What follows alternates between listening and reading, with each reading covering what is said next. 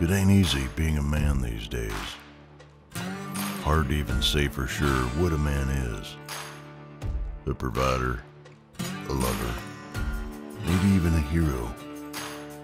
One thing's for sure a journey towards being whatever a real man should be doesn't need to be done alone.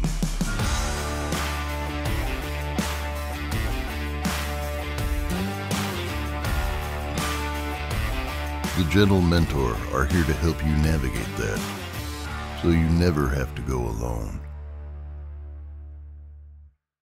Hey everyone, welcome to the Gentlementor It's podcast. so good to see you. It is so good to be here. Thanks for joining us again this week. We hope you've enjoyed uh, our several weeks ranting about change and certain things like that.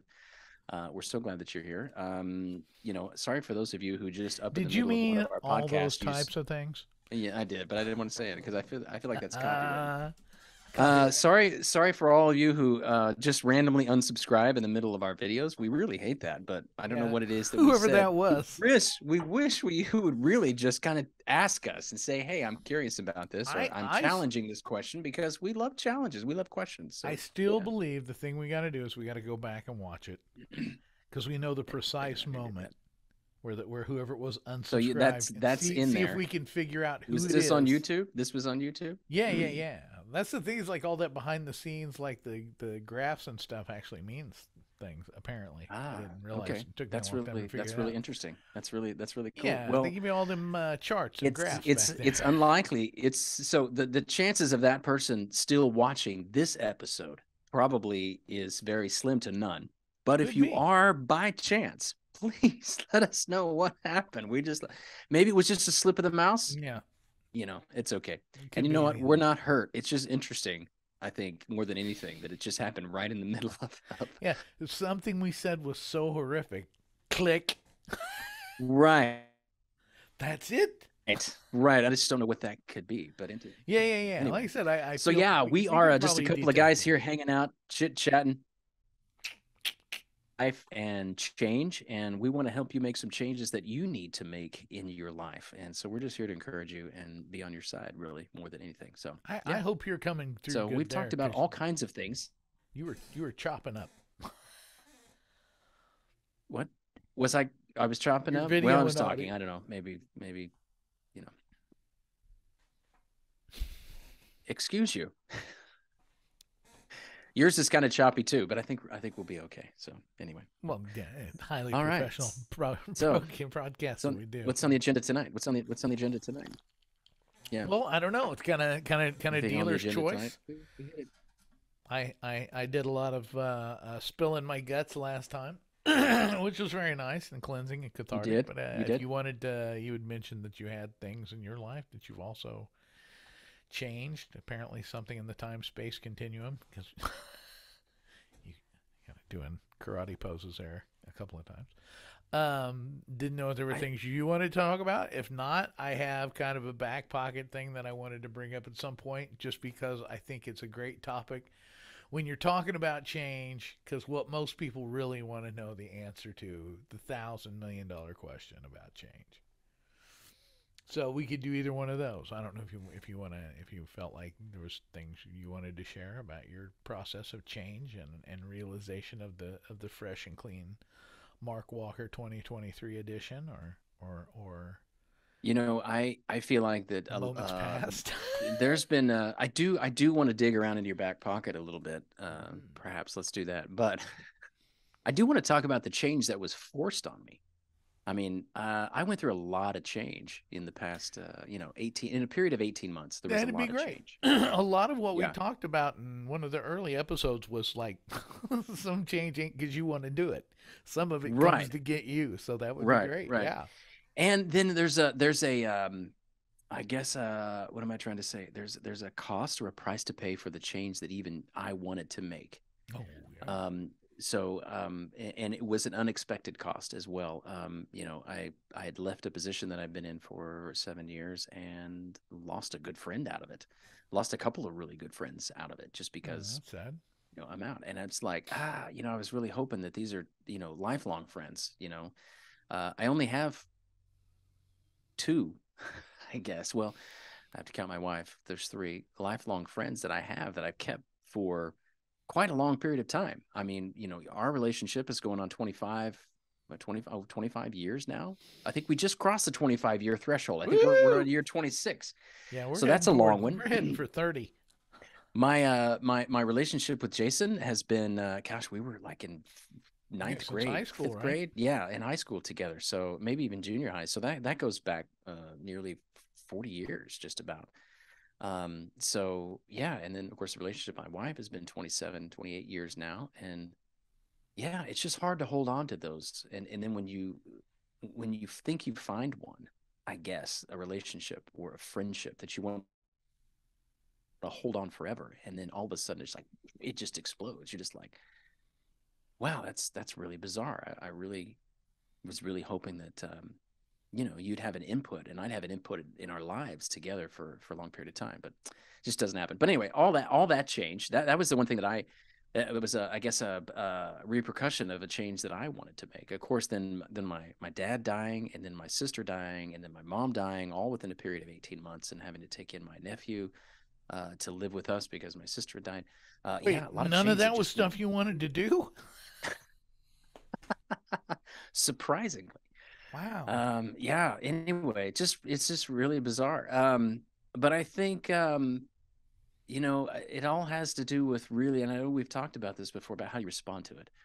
You know, so often, I think you mentioned last time we talked uh, that you mentioned about how you kind of look for, and and forgive me if I, I'm not quoting you properly, but you you look for almost something to be sad over or something to beat yourself up about.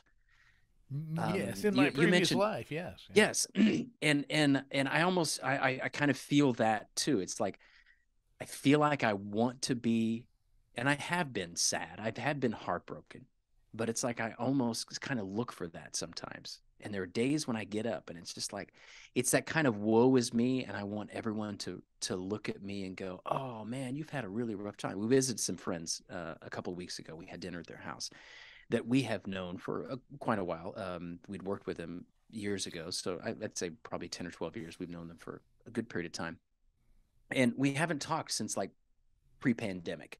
So it's been several years since we'd uh, gotten together, and so we finally got together with them, and they were like, "Oh man, you've had a really rough couple of years," and I was like, "Yeah," and you know, it was really good to hear that from someone yeah. yeah it was a validation i guess that's what it was looking for um but it wasn't like i was wallowing in it. I just kind of shook my head and went yeah thanks for thanks for noticing.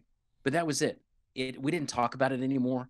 I didn't ask that you know can i cry on your shoulder? Can you pour me another glass of whiskey? Pray Can- for me? you know pray for me? It wasn't anything like that. It was just like yeah I, I appreciate that you saw that. You know you heard the stories that we told and they told some stories. They had some rough times too but anyway yeah i just I, I feel like it's it all depends on how you navigate that and how you and it's okay because we all navigate that with wanting to be uh validated for our feelings i guess validated for the hurt for the trouble that we've gone through. And i think that's okay to a point yeah. but we don't you it's i don't want to be caught there's i take that back. I do want to be coddled sometimes but i don't i don't get that and it's probably good that i don't. Um I think one real great thing that you kind of I don't know you didn't really point it out, but it makes a great like uh, that is what you describe is like I've said way many times like the first 48 50 years of my life. yeah That always that thing you felt where oh, I kind of want to go there. right right It's like that's how quick it can take somebody who's never experienced it and kind of it just it's like being lulled into a dream or something. yeah And it's that same I've t- we've talked about like raging out and stuff and you can ah there's there's a high in that that that melancholy boohoo stuff has a weird like kind of it's not a high high but it's a similar thing.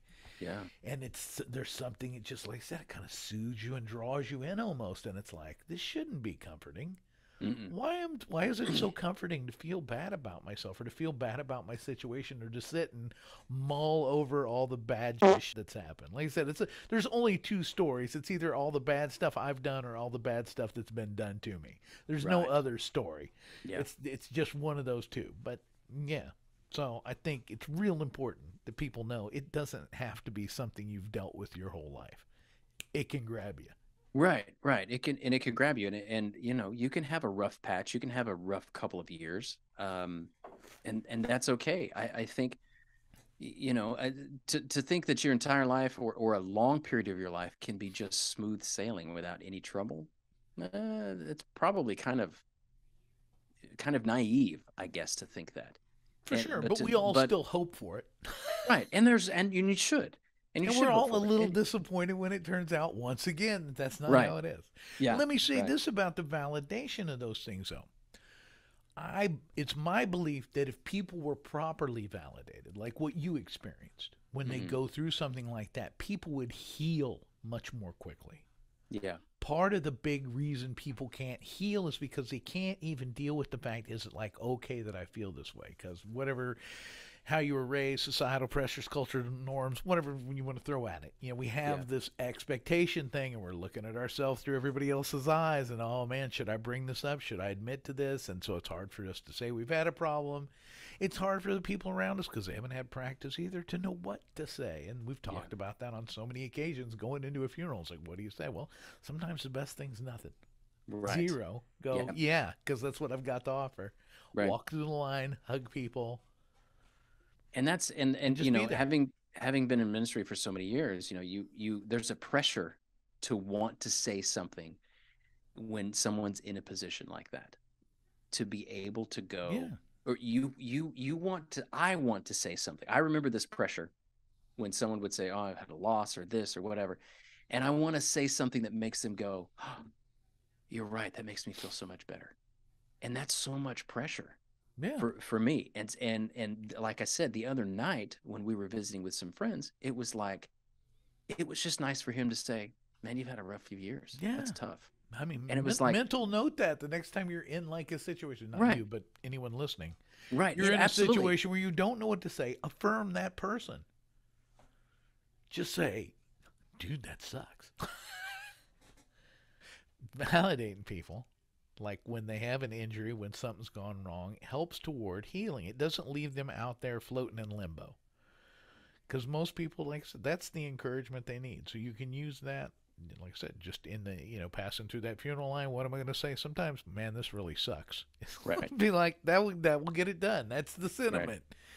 That you're in a terrible situation, and and wow, and yeah. and and in a case like that when someone says hey thanks for coming they really mean it yeah, you know because it, it seems like it's, It's not a lot off our shoulders if we just go to a funeral and we're just like i feel like i just i went because you invited me and i heard and i knew your dad or whatever it was and it was like i just went and it was like and people say thanks for coming they really mean that and Mhm. that that's enough usually just being there for people and so, because I like I- to argue, you had mentioned Okay, coddling. argue it. You don't want to be coddled. Another good point. I, no i do but i didn't think it was yeah, healthy for a long period of time not. yeah Validating someone happens like once or twice. Like someone who comes back and repeatedly wants you to validate them over the same thing and needs to drag to they're having problems. they're stuck in a way your your little word of encouragement's not going to help. And probably Right, the best right. thing you can do is try to then withdraw from the coddling. You don't have to dehumanize them or treat them bad. But Right. when you feel that moving on, and you'll feel it moving into the conversation, you know, Char, uh, time to eh, distract, pull out, time to go, something. But anyway, Yeah. sorry. which uh to- which reminds me i have a i have a connection that i'm I've, i'm making with a with a, a person who i was friends with long ago and they've been struggling with a lot of things in their life and they've gone through a lot of change and they've a lot of stuff been going on and and there was so i i'd been connecting and texting and we phone called a couple times and, and instagram back and forth and so we made a little bit of a connection well i went through a period of radio silence and i was tending to my family, tending to my business. There's some things going on. I took my wife on a trip for our our 27th uh, wedding anniversary, and they text in the middle of this trip, "Hey," with a sarcastic. I'm just hearing it. I know I hate. This is why I hate text message. They were like, "Hey, thanks for checking on me," and I'm just like, I'm not going to answer that right now. I just don't No want to because in my mind No it way. sounds sarcastic, and even though I had a little bit of radio silence, I just haven't been able to connect. And and again, that comes with that unnatural kind of coddling Mhm. sense that we we want to have. Um, there was something else I was going to say to that effect that you were talking about, but I I, I completely lost it. Lost it. Anyway, it's fine. And thanks for joining us tonight. Oh, I remember what it was. I remember what it was. I remember what it was. So I've got another prediction. Ooh. So as as as some of you may know or may not know or don't even care, I'm I'm a bit of a prophet because I've I've predicted a few things in our society that Oh, cool. have changed. Yeah. Get ready. Uh, w- Take one of the most one of the most recent ones, which I I feel is coming along, which I think we talked about on our show maybe years ago, was the normalizing of uh, pedophilia being a condition and and being and that was and I had that prediction years ago. I mean, decade, probably a decade ago. And I t- I remember sitting down with my daughter and talking about that, and she was like, "Ah, it's so gross." I'm like, "We're coming to that. We're coming to that point where it's going to be normalized as a as a thing." Uh, so my next thing is, this is it, and I feel like that I'm, I'm going to be that guy on on Fox News or CNN News that you know says invest in this, invest in this. Ooh. You ready? Yep. Whatever creates real connection, real life connection with people, I think is coming up because we've got the here's the advent of AI, Chat GPT, all this other stuff. It's going to be taking away. Well, I say it's going to be taking away. It's going to be doing a lot of jobs of of people that you know have done other things before and then all of a sudden we're not you know and now you can have an ai companion on your phone to talk to you and coddle you and talk to you about Mm. different changes and things like that when you talk it talks back to you and remembers things that you've said and blah blah blah blah i believe we're coming to the age of moving towards real human connection and i'm talking about and I think the furthest point would be like what you and I are doing right now. We're talking face to face, but we're doing it over video, over a distance. Right. But I think anything that brings real connection with other people is going to be the next big game changer because people are just going to be so consumed by AI, by automation, by social media, watching people Right. who have said things on social media We we weeks have ago, talked months about ago. this in the past. Yeah. I don't remember when it was. We talked about the topic because Maybe that was did. kind of what we were discussing is what what form that might take, what that might Mhm. look like. hmm hmm And I'm just I'm curious as to what form that might take. yeah. I don't know. Hmm. It's uh such a crazy time right now. It is. It is. It is crazy. Um, yeah. And it's it's so hard not to um get caught up, I guess, in uh the the chaos and the you know, I was talking to my son today about can't. he was like, You heard of cancel culture? I'm like, Yeah. And, and so he's talking about all this, Once. you know, yeah, this cancel culture stuff. And, you know, I said, Hey, you know what? Culture cannot cancel something it did not create. And he was like, "Ooh, that's good." He said he said he was watching somebody the other day where like they were talking about cancel culture was completely new. This new thing called cancel culture. And he was like, "Hasn't it been around forever? Didn't they try to kill Jesus?" And I'm like, "Yeah, they, they- in fact they did." That should be. They didn't like what he there's a- said. there's another T-shirt. Jesus picture. Yes. Jesus. They canceled me Yeah, first. they If they canceled me. me, they will most certainly cancel you. That's Aw, great. Ah, That's gold fantastic. mine. Gold mine. There's put him another- down. another Put him down for five percent of the sales. Five percent of that T-shirt. Yeah, they canceled me first. That's funny. That's really funny. That would be a good T-shirt. Mark, marketing gurus here. That's it. That's it. We may not I be able to got- do anything else, but we come up with T-shirts like a. Mofo. We can come up with T-shirt ideas. Yeah, that's all right. Yeah, yeah. Buy the Gentlementor T-shirt. Check out our shop. No, I'm just kidding. We don't have one. Check out our merchandise. Check out on, our merch. Come on over to our Patreon. Yeah, yeah, for sure. We love to have you. You know, well, you know, this is this Become a- quality of become a- conversation become a show sponsor. probably should stay free. Did you do? Did you go do karaoke this last week? The karaoke place closed, It didn't was it? closed. Well, this last week, no, Isabel's here for spring break, and I don't have anywhere to go on Oh, Sunday. that was right. the only Sunday night place, so I'm I'm considering other options. Ah, there's okay. on Wednesday night, I believe there's a place like right down, not too far from us, not all the way in town, but down at the next exit. There's like a little mini mall and stuff back down there, and there's a bar, and it's supposed to have karaoke on Wednesday nights. So one of these Wednesday Wednesday, nights. nights, I'm going to toddle down there and see what that's like. one of these nights. All right. So I am. I am. I, you promised me, and I don't remember when you promised me. I think you said it was in the '90s that we would do a worship karaoke I didn't promise anything. You did. Thing. You did. We- I heard you promise. I made it up in my is heart. No, that's a promise.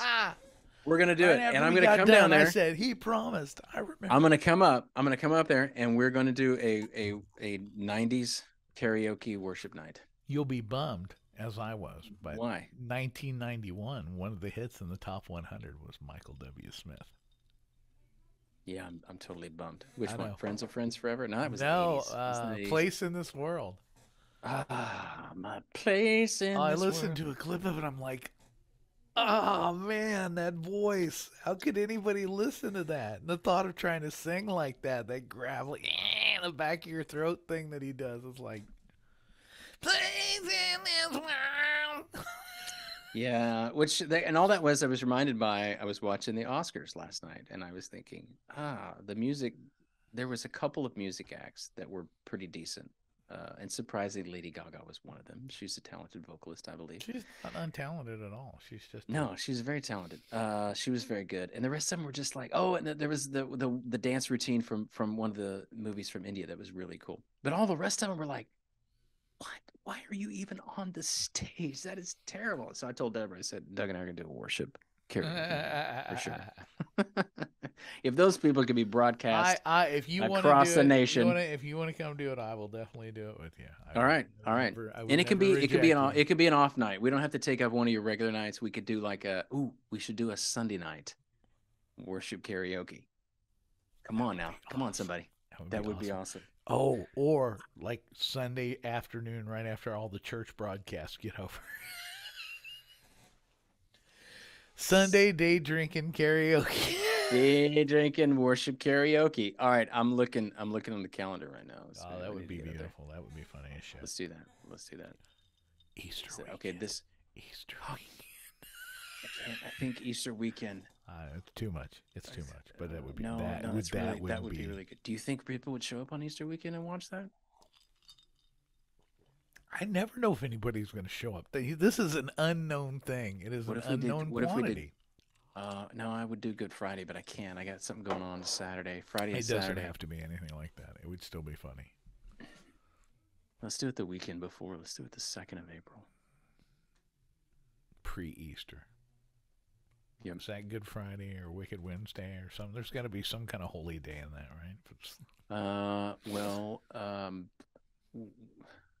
the- no, the it's not a feast of holy the day. annoyance. it's not. It's not a holy day. I was thinking, no, it's not Monday, The- the- Thursday. The, third day of irritation. It's Easter Monday is a thing as well. Easter Monday, Monday, Thursday. We've already missed Ash Wednesday. When does Lent? Lent Lent concludes on. Is it conclude on Saturday night? Is it is right before Easter? I don't know. Yeah, I know. Anyway, I'm so bad at religion. But I was happy to sing "Losing My Religion" 'cause I'm like, I fully relate to this song. that's a great I've Lost my religion. I've lost my I- religion, which is not a I- bad thing. I, I, don't feel like it is. No, I don't think. As long as you don't lose your relationship, lose your religion, but don't lose your relationship. Because you can't become a cheeseburger by going to McDonald's. You can't. You can't become a car by walking into a garage. But you can become dead by walking into a car.